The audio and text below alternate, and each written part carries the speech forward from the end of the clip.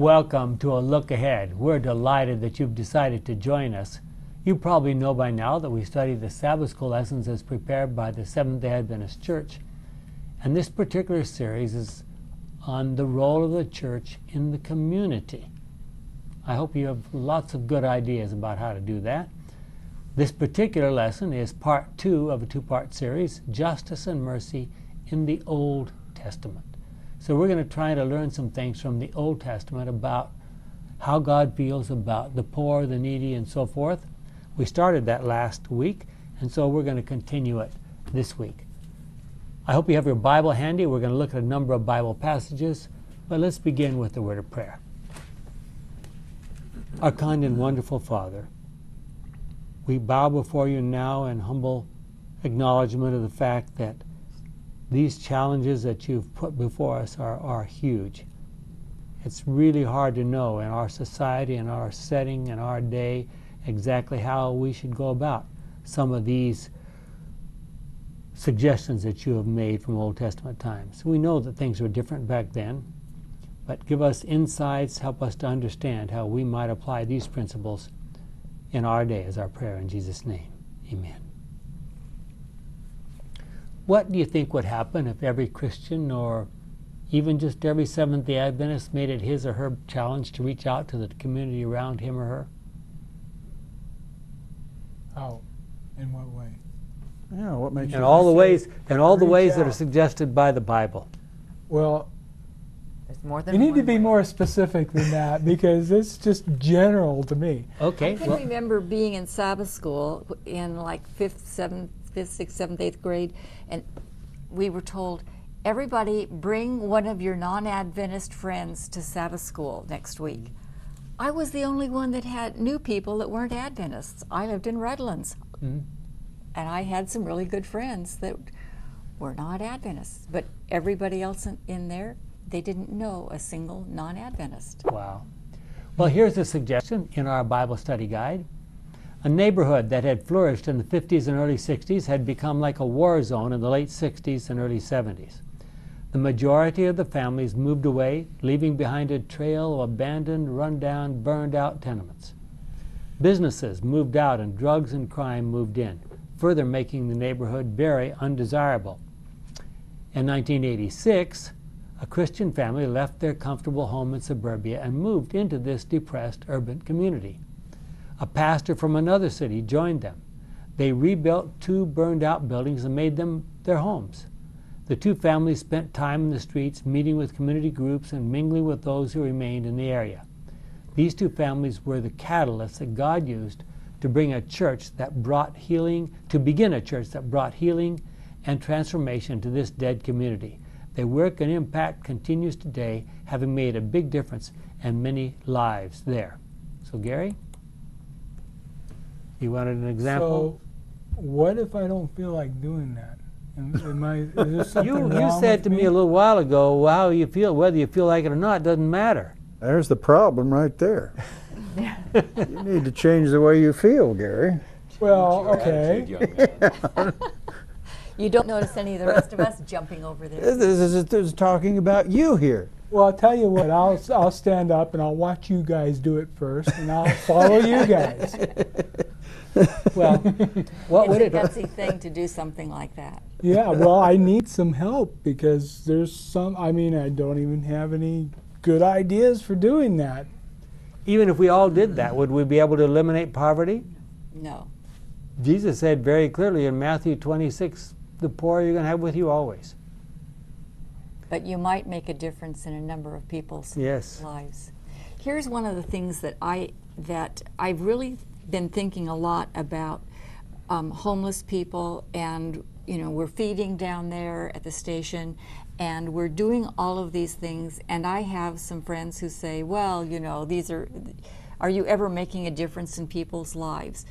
And I started trying to look at some of the um, the examples in the Bible about some of these things, and I I started thinking about the, the parable of these um, the man who went out and sowed the seed, and when there were the tares and the wheat growing side by side, he said, "Don't tear out the tares; you'll disturb the wheat." and let them grow together, and then we'll take care of it. And it just seems like to um, to try to pull people out and make some of those judgments until you really know it's it's premature. Mm-hmm. And then you're in it for the results. hmm I mean, there you do need some feedback that what you're doing has some value, but disinterested benevolence. You're you're doing it because that's what God would do. You know, we've heard this Would we- saying that He would have died for one soul. Well, look at all the ones that He didn't save. You know? Uh, and you could look at it that way too. If you're you're just helping, if you just find one person, then wouldn't it be worth it in the eyes of God? Yeah. And and we are making a difference in a few lives, but there are some that probably, at, at least at this point in time, have no desire to make any kinds of changes. Yeah. So the poverty problem is going to go away, right? No. No. Not on this earth.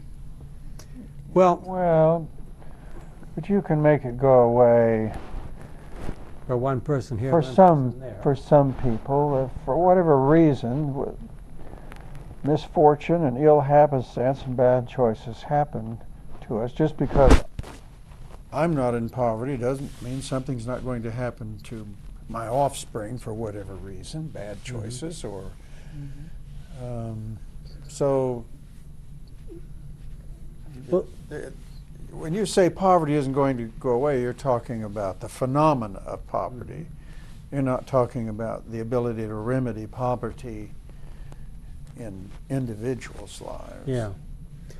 Well, there's a very interesting passage in the scriptures in Ezekiel 37 that um, our lesson suggests that might apply in this case. Let's look at this. Ezekiel 37, I'm going to read verses 1 to 14. I felt the, and now remember, where is Ezekiel? When he's, when he's giving this, he's receiving this message and he's writing it down? He's some way not too far from Babylon. He's in captivity. Basically, the the northern kingdom has disappeared into history. You don't even know what the Assyrians did with them. We don't know where they are. The southern kingdom of Judah has is now in Babylonian captivity, and he's speaking to a bunch of Jews who are in captivity. He says, I felt the powerful presence of the Lord, and his spirit took me and set me down in a valley where the ground was covered with bones. He led me all around the valley, and I could see that there were very many bones and that they were very dry. He said to me, Mortal man, can these bones come back to life? I replied, Sovereign Lord, only you can answer that. He said, Prophesy to the bones. I mean, think about this. How practical does that sound? Prophesy to the bones. Tell these dry bones to listen to the word of the Lord. Tell them that I, the sovereign Lord, am saying to them, I am going to put breath into you and bring you back to life. I will give you sinews and muscles and cover you with skin. I will put breath into you and bring you back to life. Then you will know that I am the Lord. So I prophesied as I has been told, as I had been told. While I was speaking, I heard a rattling noise, and the bones began to join together. While I was watching, the bones were covered with sinews and muscles and then with skin, but there was no breath in the bones. God said to me, Mortal man, prophesy to the wind. Tell the wind that the sovereign Lord commands it to come from every direction to breathe into these dead bodies and bring them back to life. So I prophesied, and as I had been told, breath entered the bodies, and they came to life and stood up. There, were, there was enough of them to form an army. God said to me, Mortal man, the people of Israel are like these bones. They say that they are dried up without any hope and with no future. So prophesy to my people Israel and tell them that I, the sovereign Lord, am going to open their graves. I'm going to take them out and bring them back to the land of Israel. Um, and they will know that I am the Lord. I will put my breath in them, bring them back to life, and let them live in their own land. Then they will know that I am the Lord. I have promised that I will do this, and I will. I, the Lord, have spoken. I've been reading quite a few of the minor prophets lately, and that's the big theme of Mm-hmm. many of those minor prophets. And uh, the question that's crossed my mind is, uh, you know, that never seemed to have happened. It didn't happen. All what do these all these prophets and messiahs do this, do that, and then I'm going to do this, and and even though you've been bad, I'm going to you. I'm faithful, and hasn't happened. I mean, They could that's get sure what back- it appears. They could ba- get back to Jerusalem. It was a smaller number. A very a much smaller number, Well, I know, but there was there's one. I Well- think, is it Zechariah or Mhm. or or uh, uh, there were several. I can't remember which Yeah. one I was been reading this week, and it was you know basically it was saying everybody, the entire world is going to come and be Yep. at your feet, and Zechariah. I'm going to be I'm going to be the Lord, and I'm going to. They're all going to worship me, and and Jerusalem's going to be it, and you're going to be it, and Here's a question We're from our. Here, here's an answer, possible answer to your conundrum. In our right in our lesson, Ephesians two ten. Now we're jumping over to the New Testament, and I quote: "God has made us what we are, and in our union with Christ Jesus, He has created us for a life of good deeds, which He has already prepared for us to do."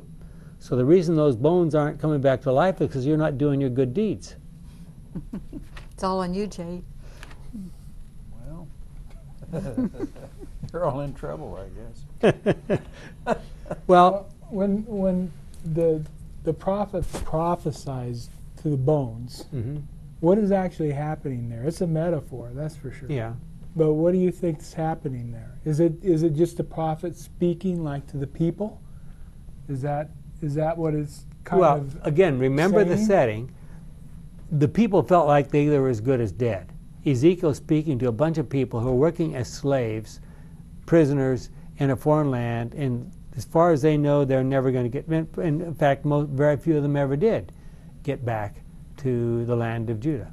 So when he prophesies, size, he um, he tells them something. He tells the the, the promise, the the good news, the the Mhm. the fact that they're going to rise again and Mhm. and have all that happen as Mhm. as the metaphor here says. Yeah. It'll happen to them. Yeah.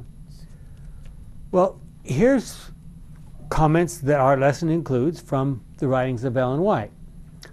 Our acceptance with God is sure only through His beloved Son, and good works are but the result of the working of His sin pardoning love. They are no credit to us, and we have nothing according to us accorded to us for our good works by which we may claim a part in the salvation of our souls. Salvation is God's free gift to the believer, given to him for Christ's sake alone. The troubled soul may find peace through faith in Christ, and his peace will be in proportion to his faith and trust. He cannot present his good works as a plea for the salvation of his soul. But are good works of no real value? Is a sinner who commits sin every day with impunity regarded of God with the same favor as the one who through faith in Christ tries to work in his integrity?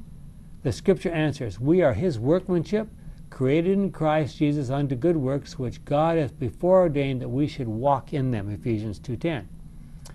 In his divine arrangement, through his unmerited favor, the Lord has ordained that good works shall be rewarded. We are accepted through Christ's merit alone, and the acts of mercy, the deeds of charity which we perform, are the fruits of faith. Selected Messages, Book 3, pages 199 to 200. So, what does that tell us?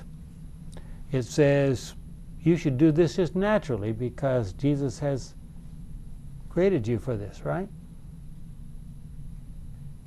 When I look around at what good people do and don't do, I just think that there is a really wide range of things that people can do to be kind and helpful and supportive and encouraging and all of that. And I, I think that different people have different gifts. Not all of us want to move into the, the, the ghetto area and um, Yeah. you know try to reform it. Well, and just because it's natural, we use the word natural, that doesn't mean, well, it can be perfectly natural for you to undertake this and still have to discipline yourself, still have to plan, still have to focus, still have to make determination, still have to make yourself get out of bed. Mm-hmm. To do these things. Just because you're doing that doesn't mean it's not a natural inclination. Use the word natural to think it just flows out like a fountain, you know. And Well, it says at the beginning of that that your acceptance from God comes from Jesus Christ. hmm So it's not like we're we're without Him we can do all that stuff. No. Uh, that's that's the key right there. So, so here's here's the question. One of the statements we read there, and I quote again: "Salvation is, God's free gift to the believer." So, does that mean that our main task should be encouraging people to be believers? How do we do that? Well, even the devils believe, though. True. Well, by that the- means everybody's going to be a believer, whether they live or die. good point, Gary. now, what do we do with that? now we're stuck. Well, by the demonstration of Christ in us. You know, he's it's not me, it's Christ in me doing these things and the uh, responding to the needs set before me and uh, like in the parable where uh, the man has somebody come at midnight and he has no bread and so he goes to his neighbor and he says I, I need something to give to my this person who's come and, and he knocks and knocks and and uh, and that's kind of the way it is. We people have needs, and we, we don't know how to. We don't have anything to give, so we come to Jesus, and and He gives us whatever it is, and that might be a, an immediate thing, or it might mean we go to school to learn how to meet those mm-hmm. particular needs, or or whatever. What do you do with people that don't want to learn? It's, it, it, it's impossible. The whole Gospel of John, he wrote that Gospel at the end of, toward the end of the first century so that people would believe. Mm-hmm. If you go through the thing, a number of times you underline the word believe, believe, believe, all the way through it. And uh, that has to work on your mind. And the salvation, that's healing. It's to mm-hmm. heal your mind. It's to heal how you think about God. But if people are have other priorities, you can't force it on them. Yeah. well, what does it mean to be in another passage from that quotation? Accepted through Christ's merits alone. Well, Christ's merits is kind of your goal, isn't it? Is what you look at hmm to to judge the standard of your life. So he is the standard that you look to. And Okay. he's the only one that you do look to. You know that that's a puzzling phrase. It's it's almost as if you have to meet a certain standard and you can't meet that standard. It's almost as if you have to accomplish something through works, but you can't accomplish something through works. But Jesus has worked it, so therefore, somehow, through the His works, you get the entitlement. And there's something about that that doesn't ring quite right to me. I, I think it's don't- talking I don't understand. That. I'm sure the words are there, but I don't understand exactly what, how that. I don't like the idea that he's worked something out, so now I'm. Well, if if if Christ worked it out, and we don't have to do anything at all, then everybody should be saved. So obviously we have to do something. A lot of people don't like that, but we have to do something. Well, they say you have to believe. Well, that's something. Uh, Well, I and think that can be hard. mhm. well, it says accepted through Christ's merits alone. Well, what accepted what? Uh, I, I think we're ex- uh, there's a sense in which if we all got what we deserved, we'd be dead. Mhm. Uh, so being accepted means that we have life and that we can uh, come boldly before the throne of grace to find help in time of need. So we're accepted by, uh, not because we're worthy to come to God. In fact, we would be killed by His His, his glory if we beheld it uh, in its full measure. Yeah. What what is it that Jesus did that qualified for these merits instead of demerits? He was he was God. That's what it was. Abandon I the think that's idea of thing. merits. It just doesn't compute. God was Yeah, Jesus and uh, God was a teacher. And if you don't want to spend the time to learn, but his Merits- merits, well, Merit is, seems to be the wrong his, word. It his is. merits though are what we look at. I mean, if he Well, let's- didn't do anything, well then how would we learn anything? Well, let, let, let, let, us talk about merits and the background of that. The, there are large Christian groups who teach that when we come up in the judgment, God balances our bad deeds with our good deeds. See? And if you have more good deeds than bad deeds, you're saved. If you have more bad deeds than good deeds, you're lost. And so um, the idea here is that Jesus was, not, was pure goodness.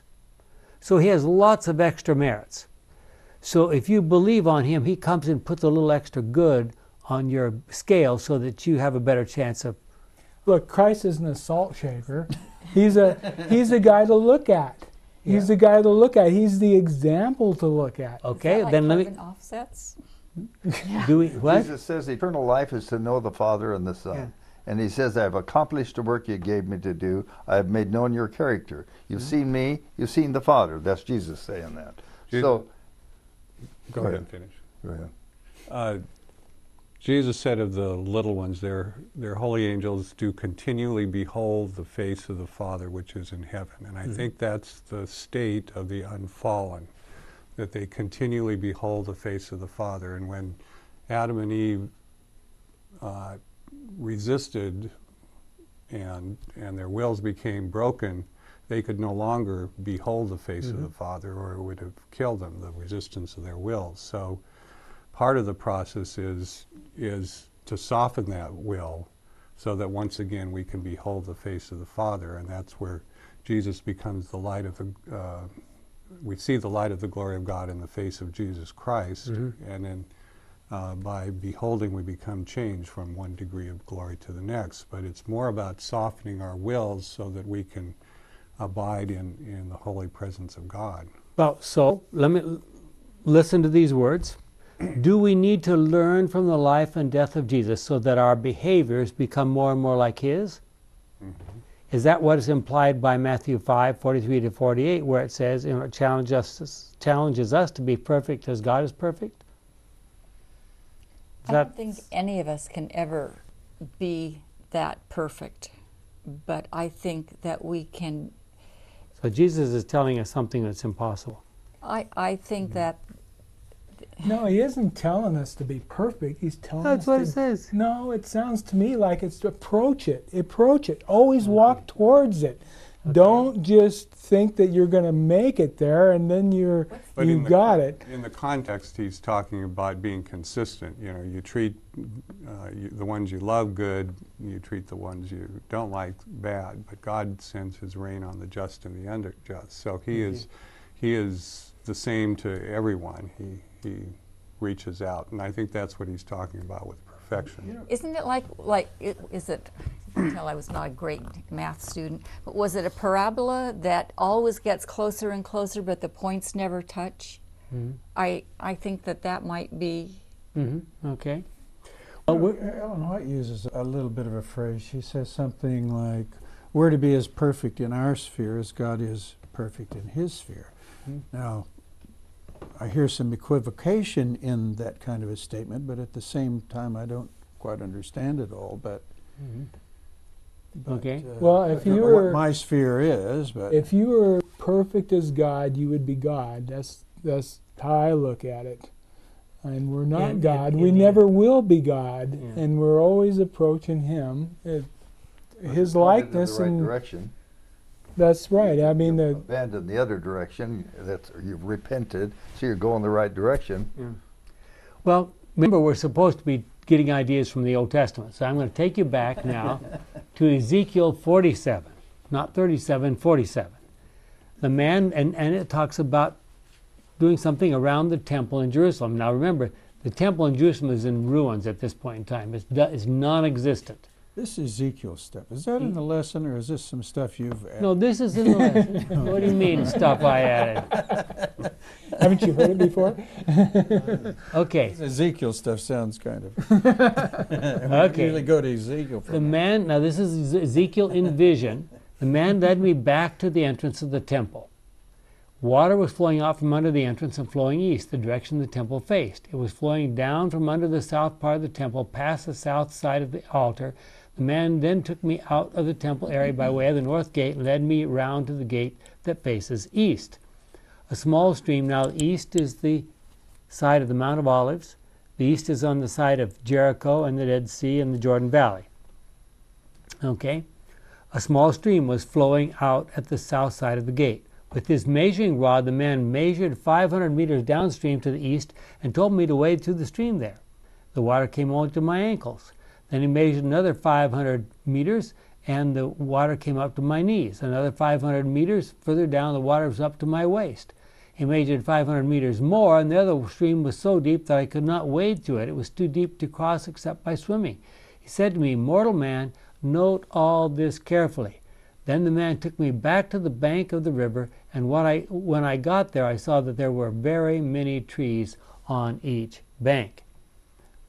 Um, well, he said to me, This water flows through the land to the east and down to the river valley, Jordan Valley, and to the Dead Sea. When it flows into the Dead Sea, it replaces the salt water of that sea with fresh water. Wherever the stream flows, there will be all kinds of animals and fish.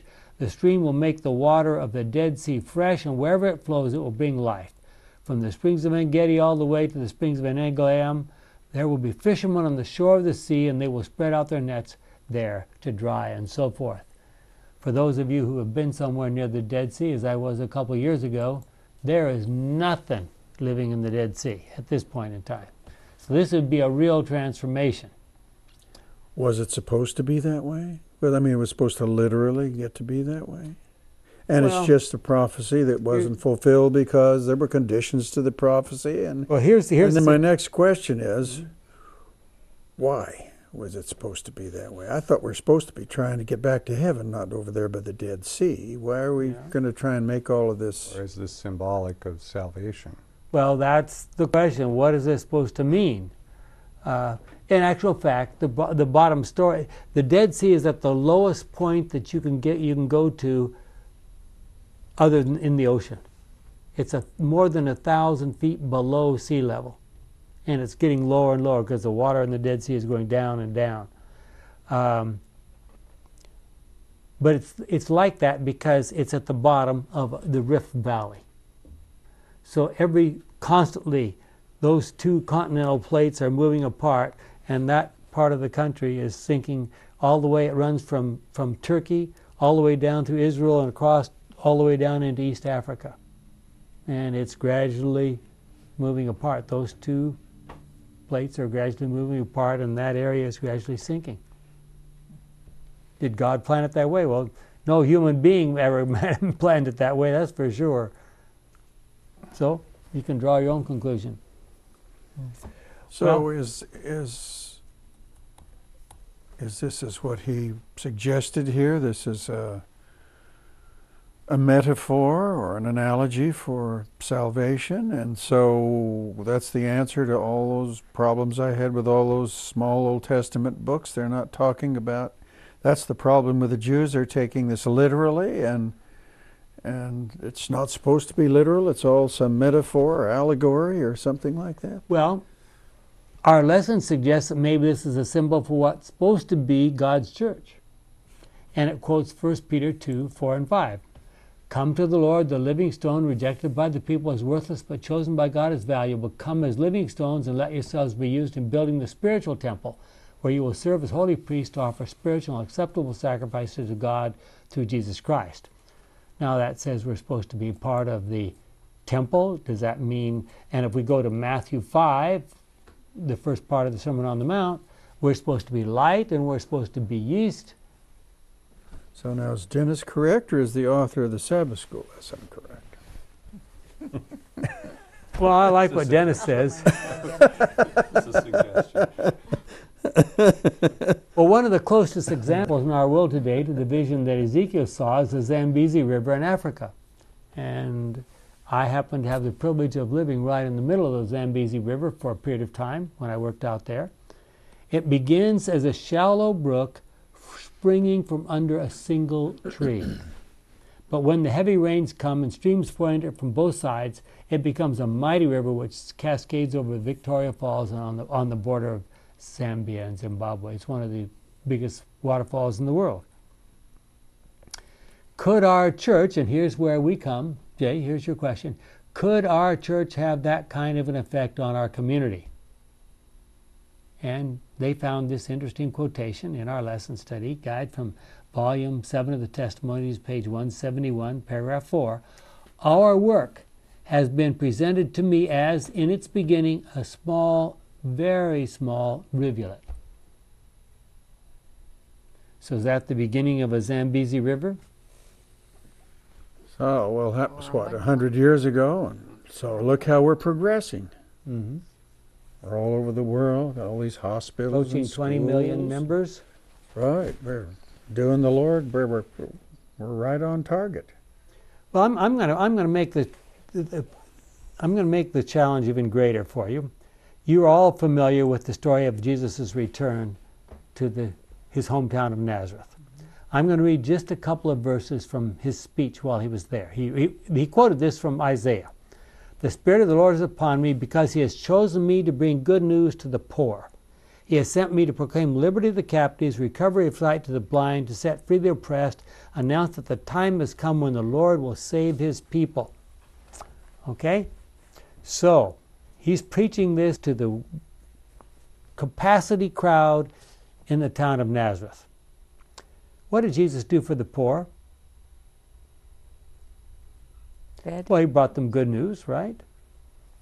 But it was not the type of good news they wanted. They wanted him to help them conquer the Romans. They wanted him to make the, to make them rich, eliminate poverty, feed them and clothe them without any effort on their part. Isn't that what they wanted? Are You talking about the poor? Yeah. The, well, the people in Nazareth, Oh, okay. they were they were poor. they were pretty poor.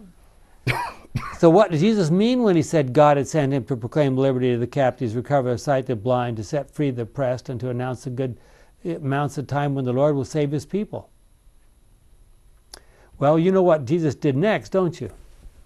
He quoted two stories from the Old Testament in which, which God's mercy was poured out on Gentiles.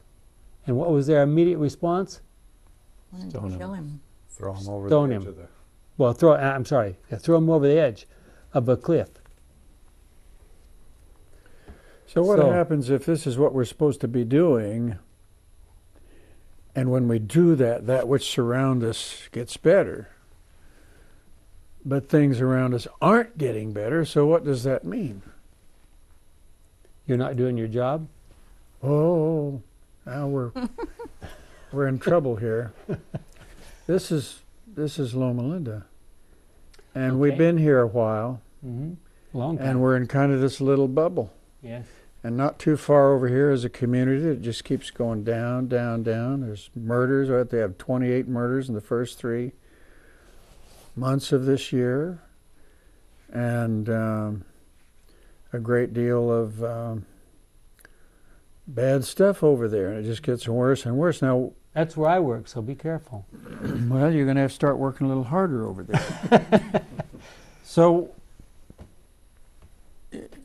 is that Well, let's what, let, what is that saying about us? well, let's, let's put our stories together now. We had the story of Ezekiel in 47. You're not answering my question. Well, I'm going to try.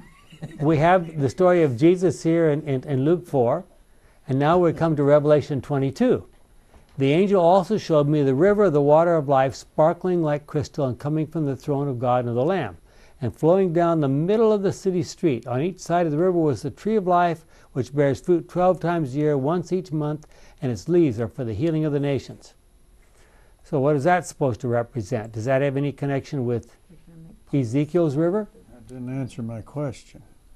Well, I'm still trying. Give me a little chance here. Trying to stay on the air. That's what we're trying to do. Well, we have a prophet from the Old Testament that that does this river thing, and we have a prophet from the New Testament that does the river thing. Does that is there any relationship between those two? And our lesson suggests that this is supposed to be a symbol of God's end time church, and you're a member of that. So you're supposed to be light and salt and water for everyone around you. And everything's supposed to get real good, and when the end times come, there won't be any bad people chasing me. And You know, there's always the answer that if we weren't here, just think how bad it would be. That's another possibility. oh, well, that's a good one. I like that one. I'm glad to do that. Well, there's another issue that I that I'm thinking of, and that is when I am being selfless, when I am contributing, when I am easing people's pain, whether it's physical pain, emotional pain, spiritual pain, Mhm.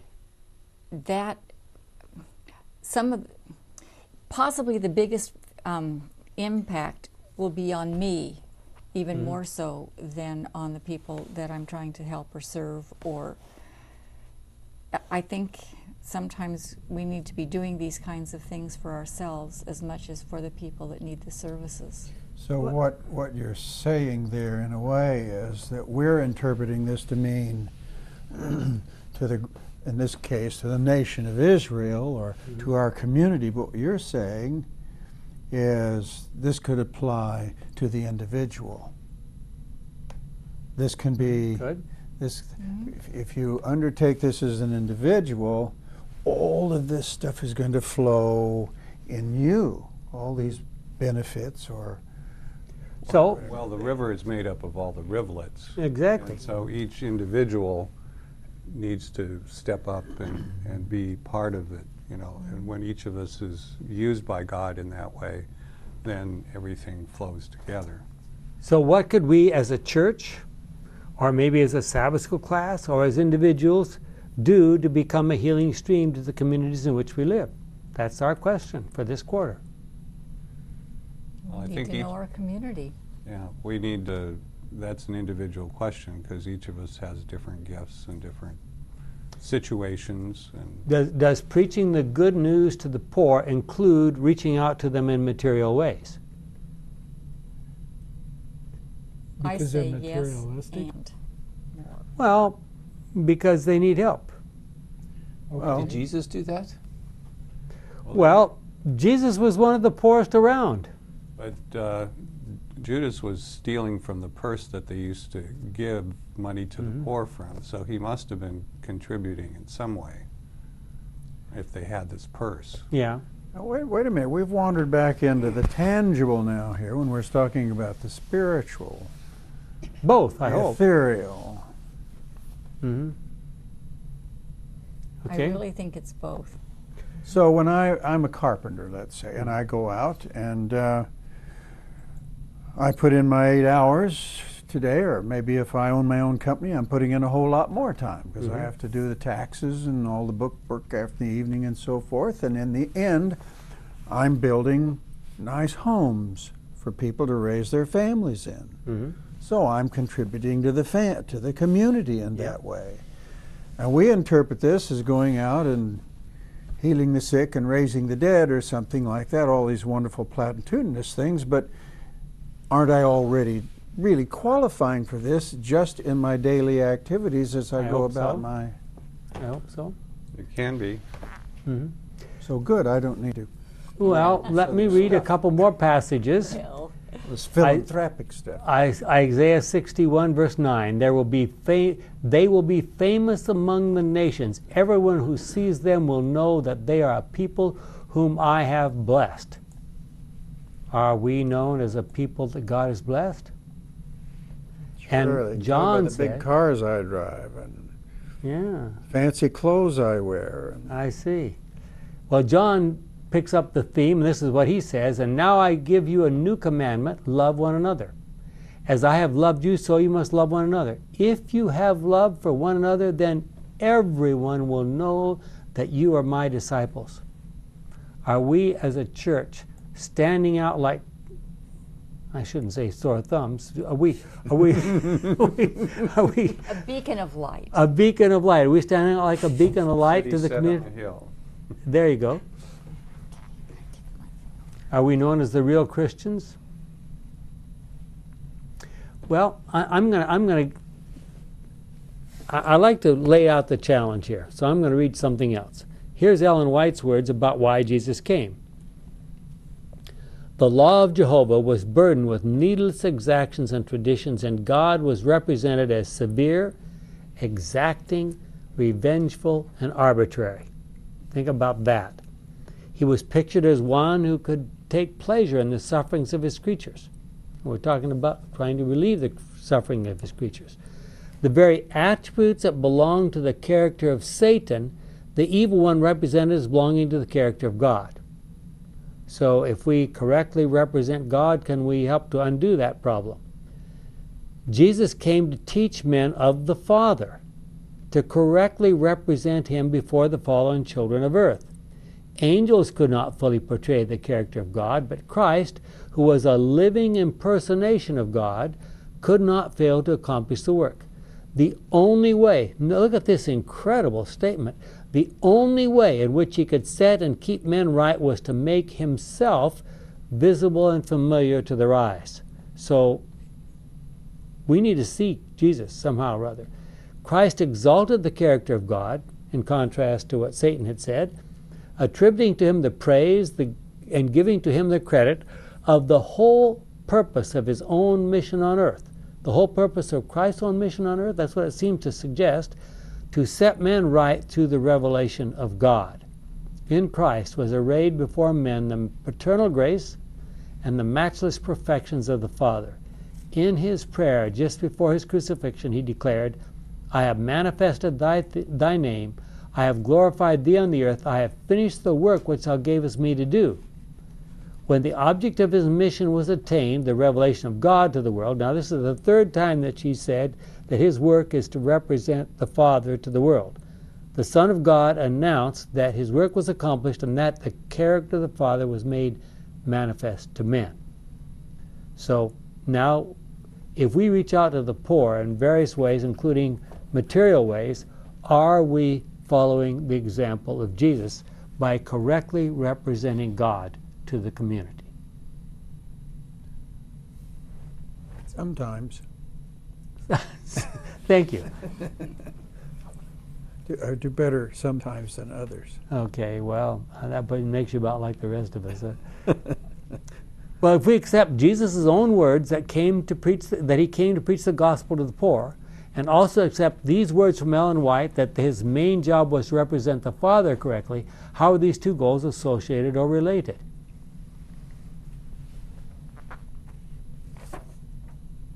Is that a stumper? No, it's just kind of hard to explain the way it's asked. Myra's awfully quiet over there. I'd like to hear her answer. Okay, just sit over there and hear. You know, I do, I do have a point though, Oh, that is somewhat, having children and remembering when I was a teenager and hearing my father say, oh, I wish we'd never let her listen to that music. it was Petula Ca- Clark singing Oh, yeah. Downtown mm-hmm. or something or other. I mean, it was nothing. It was just a little. And our young people today, there are a number of them that have left the church. And there's a few of them coming back because they like the music and they like the message that is presented with the music. It's not just the music. And I, I hear it amongst our group right here that uh, negative things to this. And you have to balance. But when you're in kindergarten, you give them kindergarten attention. And these kids have gone back to that place where they had they can see God appreciates them for who they are. They have gone in all these different directions and they're coming back. And if we say, no, you know, you're not doing it my way, Mm-hmm. that's, That would be a mistake for sure. yeah. Well, you all are familiar with Micah 6 in the Old Testament, since we're supposed to be focusing on the Old Testament. Let me read just the key passages Micah 6, Micah 6, 6 to 8. What shall I bring to the Lord, the God of heaven, when I come to worship him? Shall I bring the best calves to burn his offerings to him? Will the Lord be pleased if I bring him thousands of sheep or endless streams of olive oil? Shall I offer him my firstborn child to pay for my sins? No. The Lord has told us what is good. What he requires of us is this to do what is just, that's another word for righteous, to show constant love, and to live in humble fellowship with our God. Okay? So, how do we do what's just? How do we live with constant love? Well, I think it begins with the first one, the humbly living with, with God. Mm-hmm. Uh, because unless we are in His presence, He's the giver of all good gifts, so we don't have anything to give unless Okay. it flows from Him. So uh, justice, you know, we everyone every man's way is right in his own eyes. So if we just do whatever we want to do, it's not necess- it's not going to be God's will. So uh, and and love, of course, He is love, so He's the only source. So it would flow from Him also. What's another, what's another word for just? It's a, Righteous. Righteous. Right Oh, doing. my goodness, Fair. that's a Right pretty doing. powerful word there, just for just. What about fair, wouldn't it? Well, fair, but justice, justice has taken on a legal sort of implication in our time. It did not have that in, in ancient times. I, uh, my perception that God is is very just, Mhm. and when I think of that in relationship to me, I think He's fair. That, that's that's a word that I use. May it not might be the Well- proper term, but when it comes to But, but just a minute, Jay. Let's be care, careful here, because if God was really fair, none of us would be saved. None of us deserve to be saved. Nah, why would you just say that? Huh? Well, the dead. reason why we're not saved is we're separated doesn't work from with Him. my word of my definition of fair. I think. But but I think I get that same feeling when I read that too. It's fairness. Just be fair with each other. Mhm. You know, don't don't over. Yeah. You know, don't cheat. Don't. You know, Well, want make sure that everything is. Here's, here's what our. Yeah, go ahead. Maybe justice and mercy, because Mhm. that's how God approaches it. Yeah. Not just what we think of as justice, but blended with mercy. In, in, in commenting on, on Isaiah 58, verse 7, our Bible study, I mean, our Bible commentary, the Adventist Bible commentary says this True religion is practical. To be sure, it includes the rites and ceremonies of the church, but it is in the, it is in the life lived before one's fellows that the presence or absence of true religion is manifest. It is not so much a matter of abstaining from food as it is of sharing food with the hungry. Practical godliness is the only kind of religion recognized at the judgment bar of God, and of course it quotes Matthew 25. So, what kind of practical godliness is possible in our day? You mentioned about the fast uh, earlier on. It says in in Isaiah 58, "It is not the fast that I choose to loose the bonds of wickedness, to undo the thongs of the, of the yoke, to let the oppressed go free, and to break every yoke. It is not to spare bread with the hungry. Excuse me, it is not to share bread with the hungry. Excuse me, Is it not, is what it meant to say. And bring the homeless poor into your house and so forth. Okay? It's not you yourself going hungry for so many hours. That isn't the fast that God wants. So I don't see in this Micah 6, you know, keep, keep the Sabbath, you know, and things like that. Mhm. Have a correct picture of God. Well, that was that was a part of their whole religious picture here, but God says that's not what really matters. What about going about your your your business today, your calling, Mhm. and caring about people and and the world around you? Does that fit? Well, one of the sins of ancient Israel was barricading themselves off from everybody around them. Oh, we're not going to have anything to do with the Samaritans. We're not going to have anything to do with those Well, would- pagans. you look at the Old Testament, and it's, there's a lot of passages that lead you to believe that's what they were supposed to. do. Not supposed to mix, and not supposed to No, no, do no. this, that- and and well, you're not we're supposed, supposed to be a peculiar people and not be like everybody else. And How many Adventist communities have formed almost like little ghettos? So try to protect ourselves from the community. Around. Well, Christianity always comes down to the individual. We may act as a community, but we cannot demonstrate Christianity as a group unless we do so as individuals. So, there are many passages in the Bible that talk about being fair to our, in our dealings with others, especially the widows, orphans, and foreigners, and to be humble and teachable. And I mentioned, I can think of Isaiah 1 and Isaiah 58, Hosea 6 6, Amos 5 21 to 24, 1 Samuel 15 22, Psalm 51 16, Proverbs 21 3, Matthew 9 13, 12 7. I mean, we could go on and on. Could we, think about this now, could we become so caught up in our desire to meet the, the, the, the, the physical needs of the poor that we forget their spiritual needs? Absolutely. Or could we do the other thing around? Could we so be so concerned about their spiritual needs we don't bother anything about their physical needs? Well, but Diane has mentioned that a little bit in her work down at the station. It seems to me like uh, these people come and they come for food, which is meeting their physical needs, and this is legitimate. It's a legitimate need. But she's finding it very difficult sometimes to to get any kind of a response to her her spiritual intimations. It's like these people have a wall and they're not interested in these kinds Some- of things. Some so are, some aren't. Mm-hmm.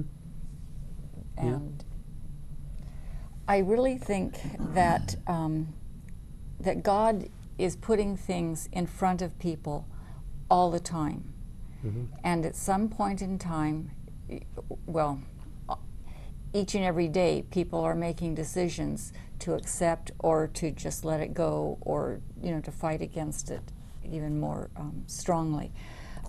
But I think that he doesn't really give up on people, and Mhm. so to um, you know we we have prayer, we do things, we reach out to um, you know to the people who are there.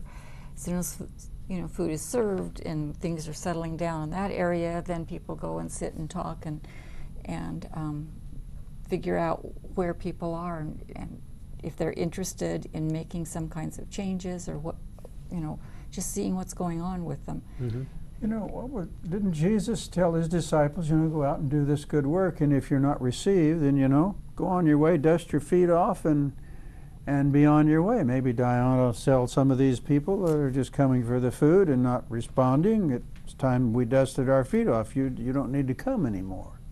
Well, I start giving them little jobs. Can you take this over to the trash? Can you take this bag of trash over to the dumpster? Mm-hmm. So when that happens, do they stop coming? No. They say, "Oh, I'll be glad to do that." Most of them. Well, you know that um, Christians have had a lot of debate down through the centuries about faith versus works, and some would say that's what we're talking about here. Is that is this faith versus works?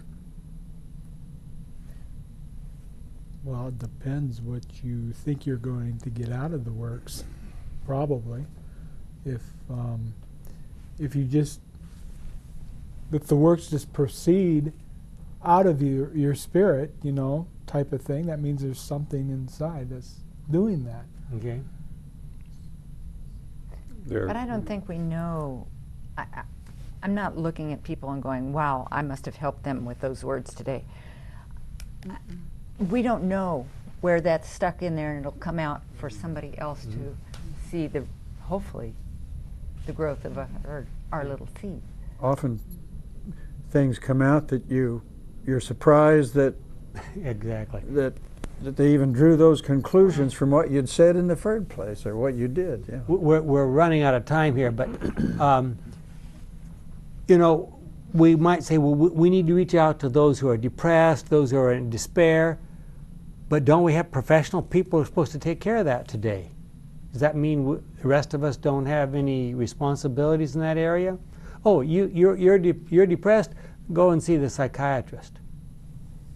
sometimes people just need somebody around who'll sit there and listen to them. And, Mhm. uh, we may not be, we may just be the holding pattern that they need before they can get professional ha- help. Well, in, in, as we draw a conclusion, I'm going to read you a couple of verses. We've sort of hinted at these. Jesus said to the disciples, Matthew 25, I was hungry and you fed me, thirsty and you gave me a drink. I was stranger I was a stranger and you received me in your homes. Naked and you clothed me, I was sick and you took care of me, in prison and you visited me. And what do the disciples say? When did we do all that? And what was the response? To the extent that you've done it unto the least of these, my brethren, you've done it unto me. Okay?